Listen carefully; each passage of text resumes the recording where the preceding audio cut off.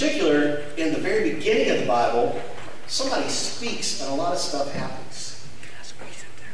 So let's find out. It's in Genesis, and I'm going to paraphrase, so just hang with me. God spoke, and there was light. God spoke, and there was sky. God spoke, and there was land. God spoke, and there were plants. God spoke, and there was the sun and the moon and the stars. God spoke, and then there became fish and birds of the air. God spoke, and then all living creatures, all the animals. And then God spoke, and mankind was created.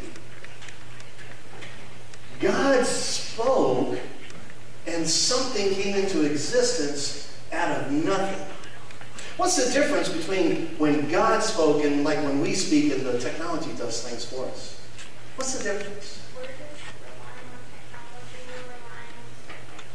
Say it. We're just relying on technology. Yeah, I mean, we have to have something to do. I mean, like something has to do it for us, right? Does God need anything? Like if God speaks, does he have to have something in order for something to happen? No. Just the power of God's spoken voice, the power of God's word. How do you hear God's voice? By prayer. prayer. Who else? What's another way you hear God's voice? oh.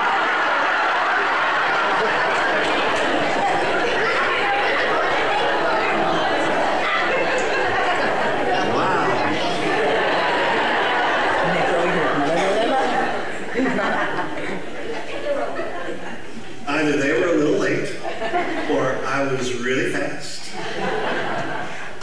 I'm not fast anymore, so they must have been late. What's another way you hear God's? We're talking about God speaking. All, the, all my friends that just came in, we're talking about God speaking and things happen when God speaks. And I asked the question, how do we know God's voice? How do we hear God's voice? David, what you say? The Bible. The Bible. You heard me read out of it just a minute ago. God's Word. We study this, we read this, and we can hear God's voice. And there's examples all throughout the Bible of where God spoke and stuff happened. So, read your Bibles. Pray to God. We're having lots of giggles up here. I love it and listen. Listen for God's voice. Would anyone like to lead us in prayer this morning? Benjamin, would you like to lead us in prayer? Okay. Bow your heads. Dear Lord, thank you for this day. Thank you for our parents. Thank you for our grandparents. And thank you for our neighbors. Thank you for people that live far away and they know that they're your friends. Or you can go to their house and have a play date. And you can go to the beach and do for sing amen. Amen. Amen. All right, whoa, whoa, whoa. Don't go anywhere because I think you guys are going to sing. Some of you at least, and most of you hopefully.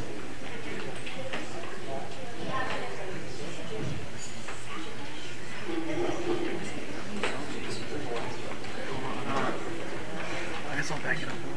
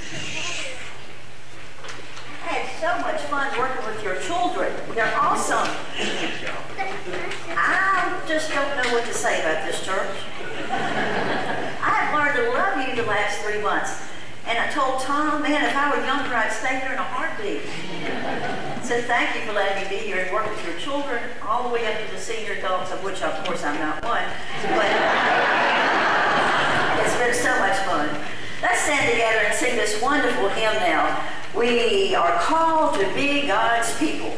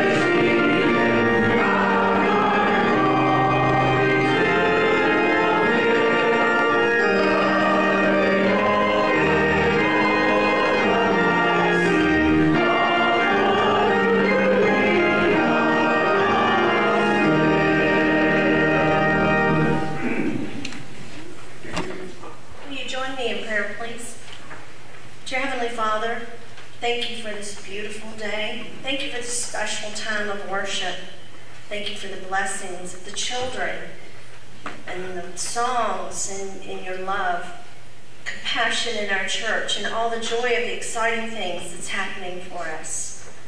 Father God, as we bring our offerings before you this morning, please receive them, bless them, use them as we continue on mission for you. Lord, we love you. We thank you. In your most precious name we pray. Amen. We're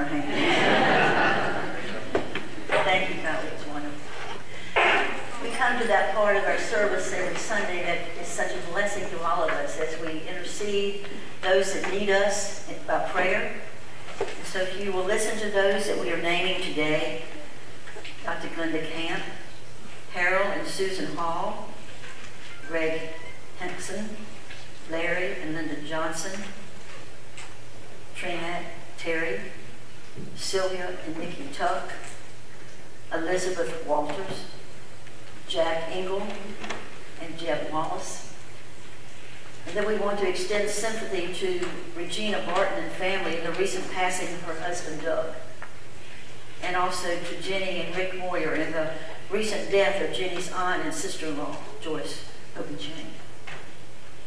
You probably have those on your heart that you need to pray for. So for the next few moments, if you'll just lift these people up and ask God to answer the prayer, whatever it is.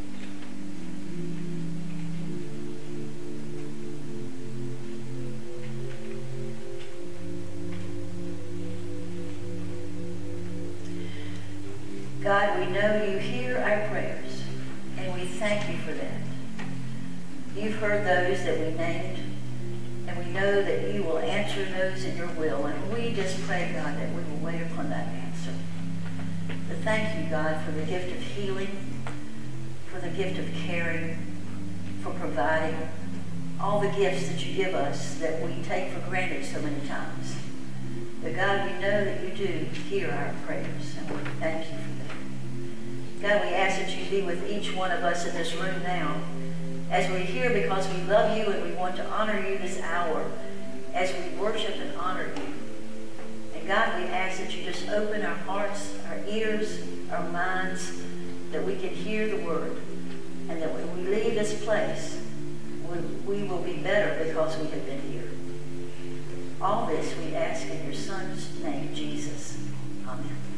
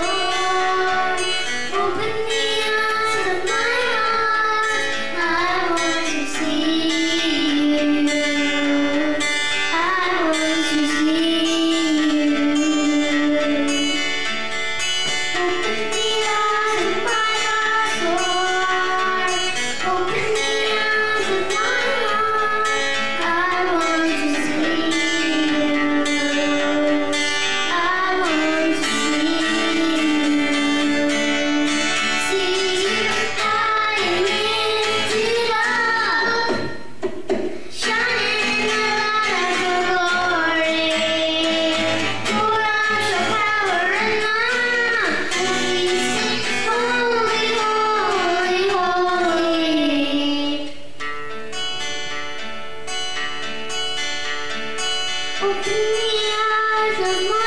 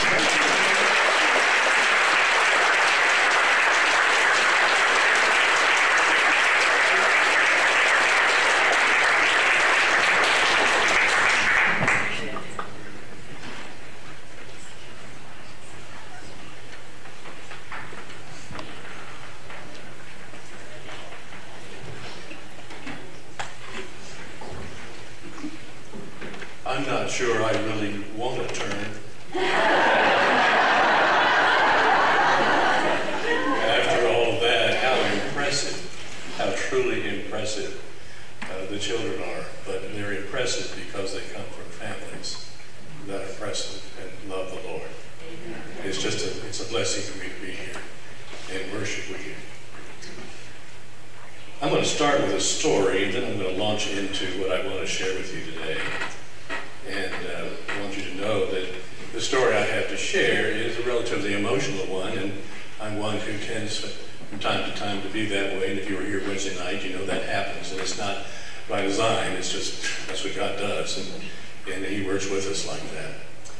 I want to begin with uh, a story about Johnny. Little Johnny was having trouble at school, second grader. He began to tell tall tales.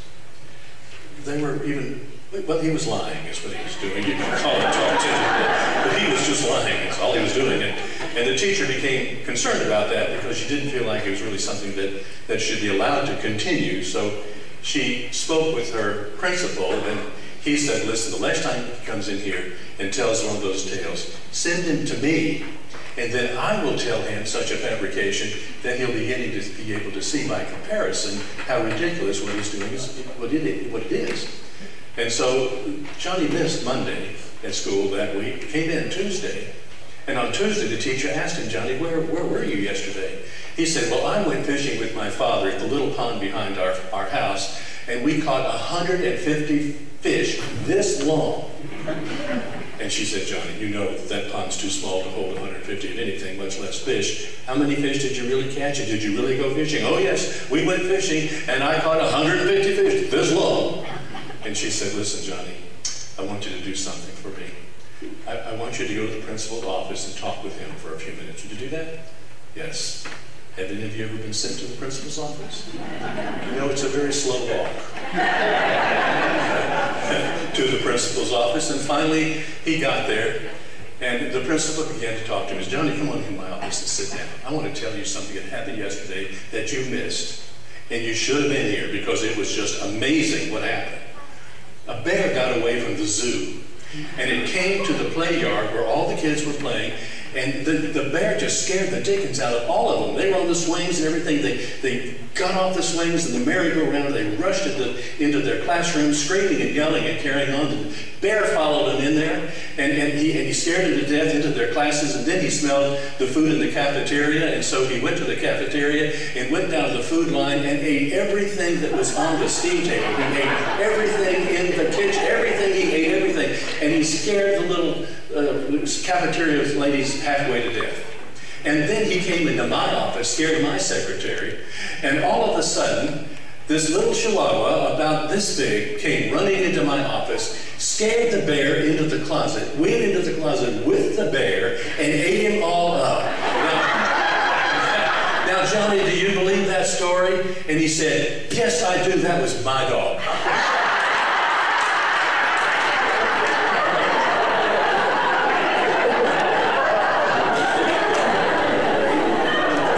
Mouths and babes. Well, the story that I have to share with you this morning is not at all like that kind of a story. This is a, a real, true story, a real uh, recitation of an event that took place that brought me to where I am today. If we could put the scripture up on the screen, I'd like for you to read that with me and read it together. It's from John 14.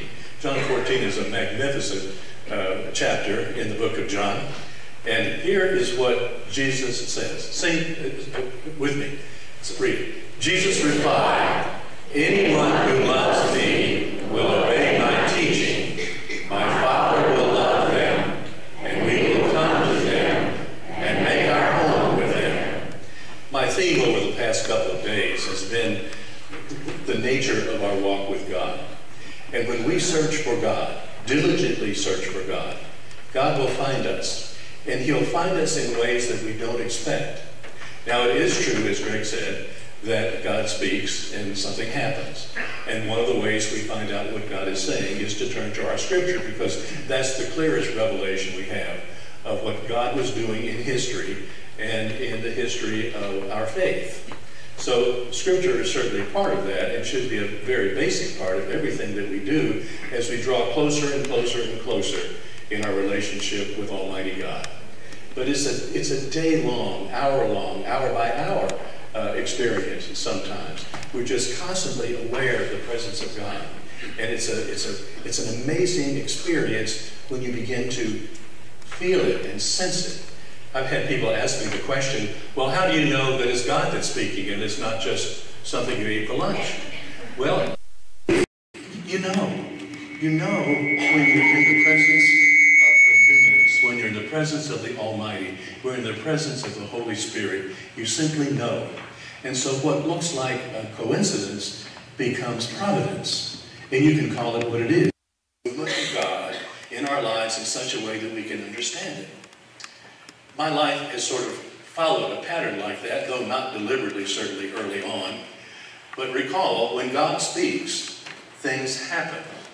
God spoke to Abraham, and things changed. God spoke to, to Moses, and things changed.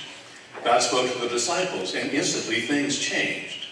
God spoke to Paul, and things changed. My experience is something like those. Early days, I was born and raised in a Baptist church. Not literally, but it could have been. And, uh, and, and, grew up in, in, in the church. Uh, my exposure to Christianity really came through my parents and my grandparents to a point.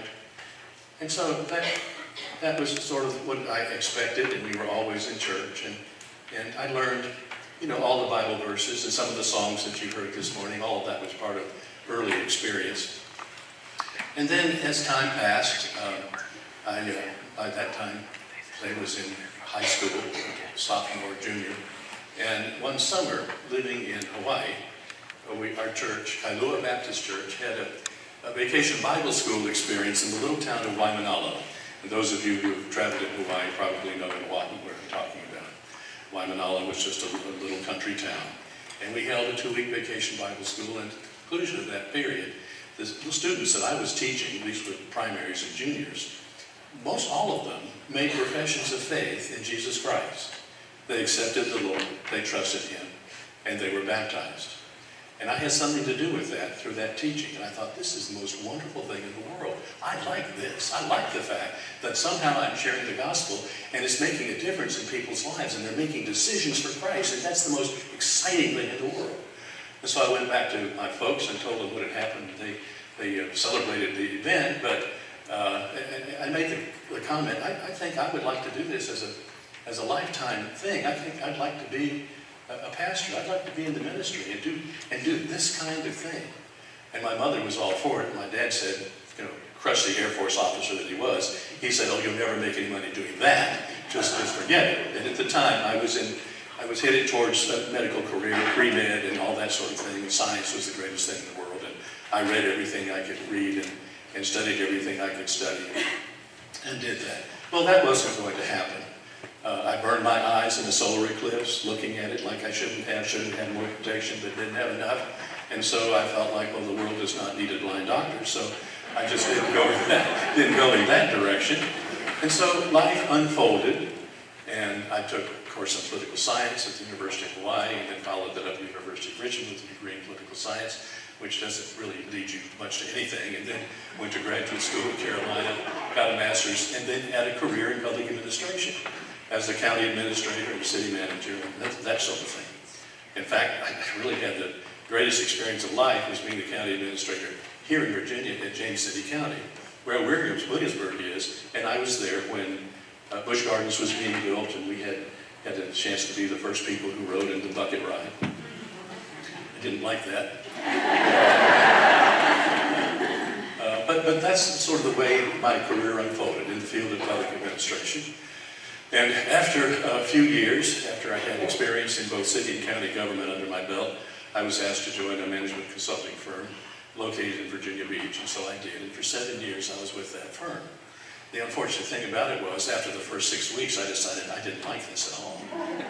That, uh, the consulting work was fine, enjoyed doing that, uh, was fairly good at it, but I didn't like the travel, and we had to, you had to go where your clients are, and our clients were all over Virginia and North Carolina, so it wouldn't be unusual for me to go to, say, Pulaski County and spend a week uh, working on something that the county needed have done, or here, or just about anywhere, uh, doing the kind of consulting work that we did. Mostly my work was in HR, but other people did financial work, and I did management reorganizations and that kind of, those sort of studies. But I didn't like it. I didn't like being away from my kids. I didn't like being away from my wife and my home. We lived in Virginia Beach. And uh, that was just a, a period of time when it was just sort of a, a sense of malaise. Uh, the kids were great. My wife was one of the greatest people I think I've ever known. Wonderful, wonderful pastor's wife. Um, but, you know, we, we met, married, had our kids, built our family. I had that career in public administration, and I just was not happy. I didn't want to go back to be a city manager again or a public administrator of any kind again. I had done that, thank you, Lord, I'm finished. Um, and so I began to pray. And I prayed a lot. And I prayed constantly, not just a little. I prayed prayed and prayed. Over a period of seven years, I prayed virtually the same prayer. Lord, what would you have me to do? Lord, what would you have me to do? And as I would drive from my house uh, in London Bridge down to the beach borough where our office was, I, that would be my prayer. Just, Lord, what would you have me to do? Show me what you would have me to do. And in the midst of all that, we became more and more involved in the life and work of First Baptist Church in Virginia Beach. My wife and I were in the choir together. I was teaching Sunday school. I was a deacon, uh, committee, you know, all, you know, all that stuff. And uh, so I was really, really involved in the life of the church. And that brought joy and pleasure to my life that I really didn't have in my career path. I really didn't enjoy that part, but I really, church became the thing that, that just, that was the most stimulating part of my life. And, and, and so that, that's kind of the way it was. Over the course of that seven years with those prayers every, every day, I was heading to the office one, one Monday in November. And uh, that was a day that we would uh, seat our new deacons and, and that sort of thing. And so it was, it was going to be a busy day. And uh, so on the way to the uh, office, I prayed that prayer once again. Lord, what would you have me to do? What would you have me to do? And as I drove, I sensed the presence of the Holy Spirit in such a dramatic way that I couldn't shake it loose. And in the midst of that conversation, there was a dialogue. Lord, what would you have me to do? And God said, and I heard it. Probably no one else in the car at the time would have, but I heard it. And God spoke and said, Tom, where are you happiest? And I said, gee, at church. I, I guess I'm happiest at church. And then the question came again, God, what would you have me to do? And God spoke. And he said, where are you the happiest? And I answered again, the church, I guess I'm the happiest in the church. And once again, the dialogue continued. God, what would you have me to do? I mean, like, what more did you need to do? Slap me around? I mean, what would you have me to do? And God spoke. And asked me the question again. Where would you be? Where would you be the happiest? Where have you been the happiest? Where would you be the happiest? And I said, in the church. And then it dawned on me. In the church. And then their conversation ended. It was such a, a numinous moment that tears were flowing down my eyes. And I reached over and turned on the radio, which tune, was tuned to a Christian broadcasting station. And there was a, a song being played, just an instrumental piece, no words. And in the, in the midst of all of this, the song was being played. And the announcer came on and said, the Savior is waiting.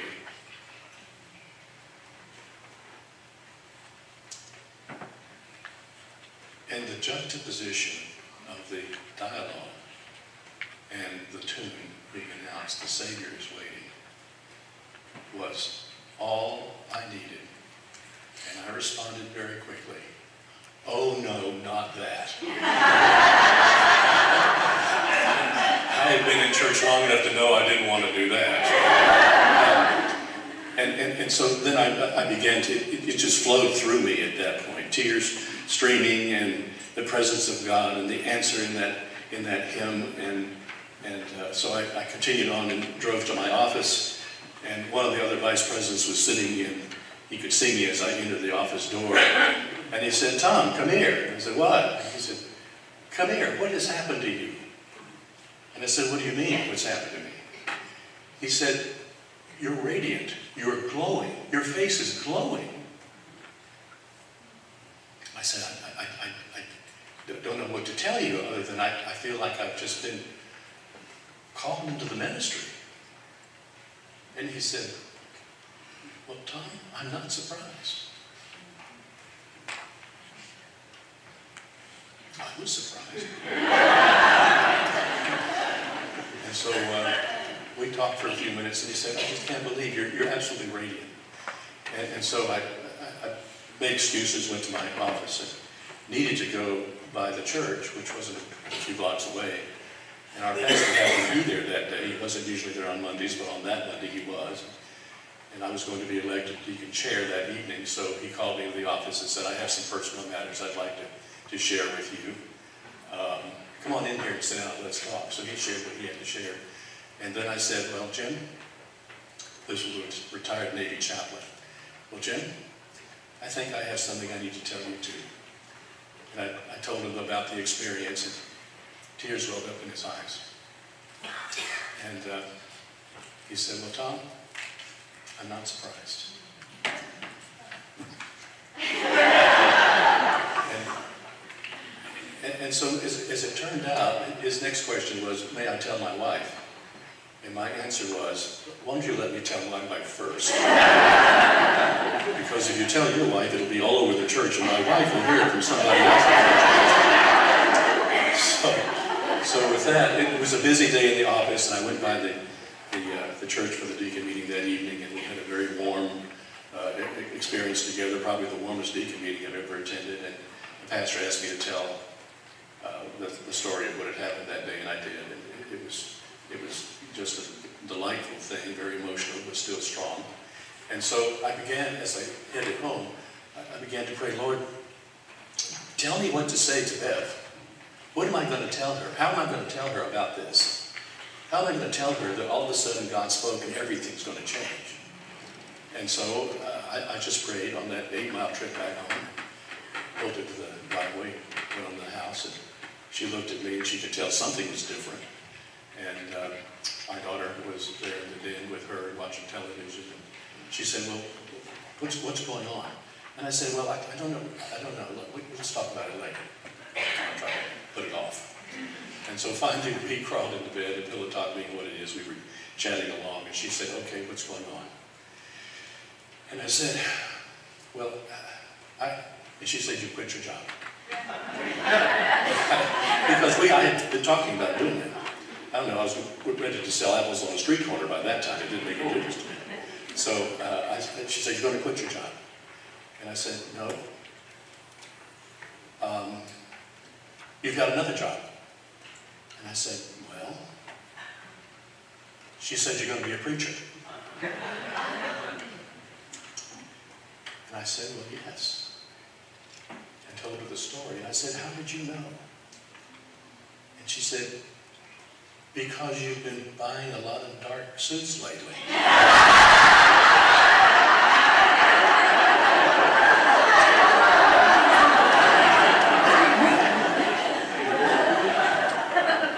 You had to know her.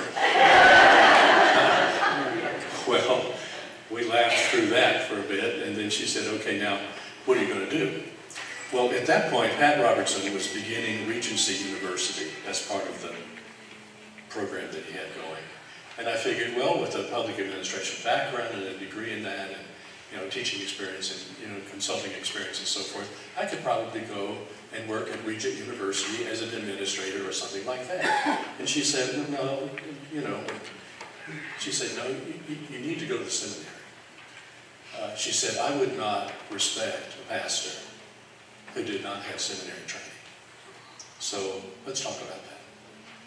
Well, within a few months, we had been to Southeastern Seminary at Wake Forest. We'd seen it, talked to the people, evaluated it, applied, accepted, and by the next summer, just a few months later, uh, I enrolled at uh, Southeastern Seminary.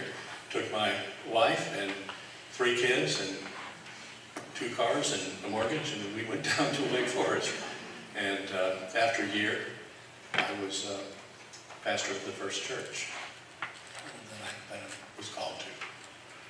So that's the kind of thing that can happen when God speaks. And God spoke. And what? Everything changed. And I think that's true for all of us. When we draw close enough to be able to discern between what we think might happen and what God wants to happen.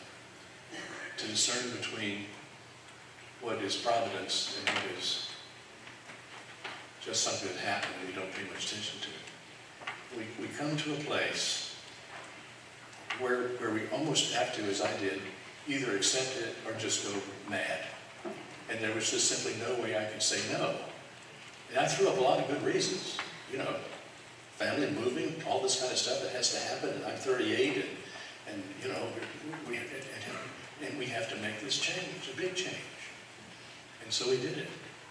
My son was here yesterday, and spent a couple of days with me. And I asked him, I said, Scott, when, when I was called to the ministry, do you recall anything about that? He said, yeah. Um, I said, did, did that detrimentally affect you and the other two kids in, in any way? And he said, no. You know, we were settled there in Virginia Beach, had been there a good while. My youngest son was, was born there. And uh, he said, no. We moved on to the seminary. We made a whole new set of friends. Went to our first ch- church, made a whole new set of friends. He said, it wasn't any problem at all. Does that worry you? He said, you know, a parent who uproots, uproots their children and family and, you know, moves a couple hundred miles away, yeah, it, it concerned me. He said, no, absolutely not.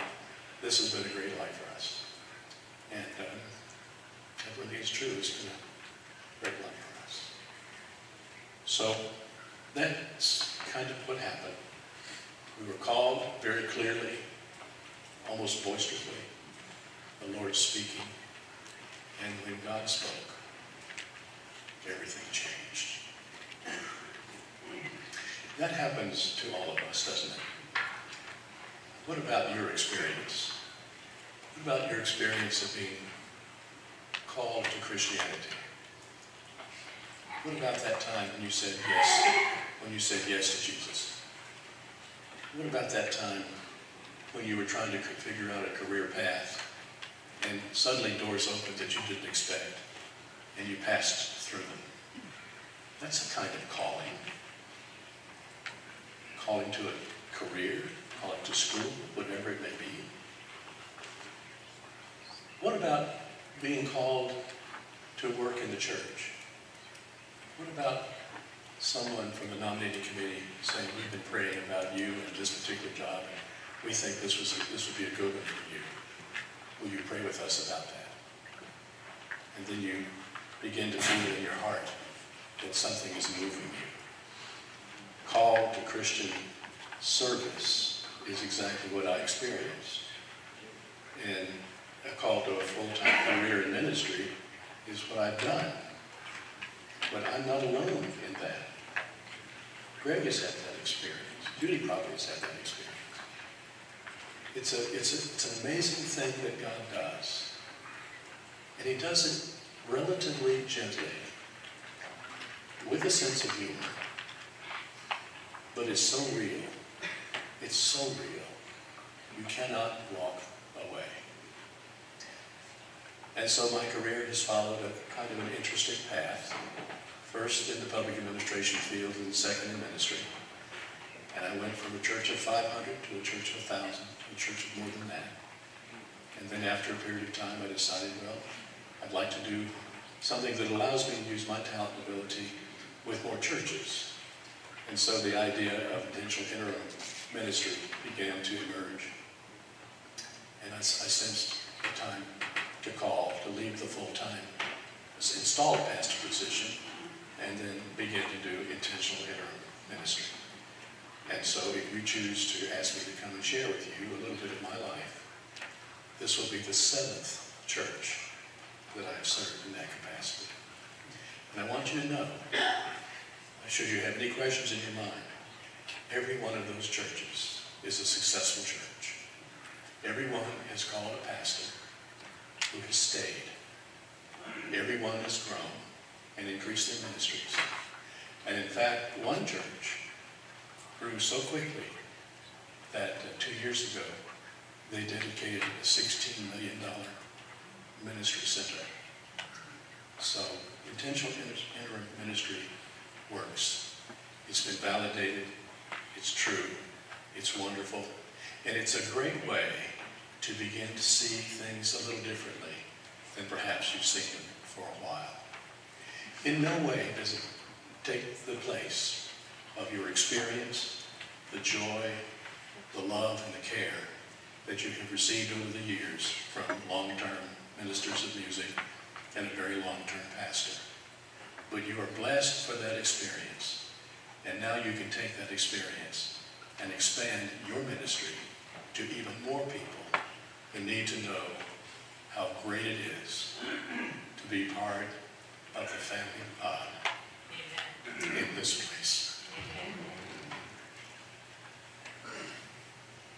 God bless you. We have an invitational hymn, it's number 81 in your book. I don't know if it's on the screen, but it's He leadeth me.